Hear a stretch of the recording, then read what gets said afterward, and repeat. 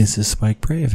I'd like to thank you for watching this daily match. If you liked the video, let me know by clicking the like button. If you'd like to see more, subscribe to get notifications when new videos go up. Have a great day, and I hope to see you on the battlefield.